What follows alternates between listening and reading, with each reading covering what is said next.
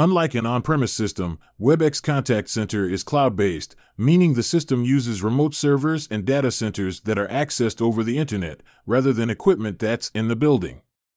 Because it's cloud based, agents and supervisors use a browser to access their accounts. Let's see how this works.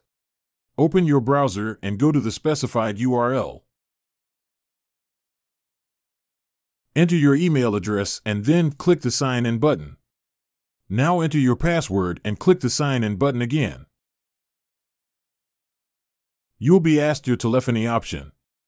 Here you can choose how you will receive your calls, dialed number, at a specific telephone number or extension to receive, then at a specific extension or desktop for calls through the Internet.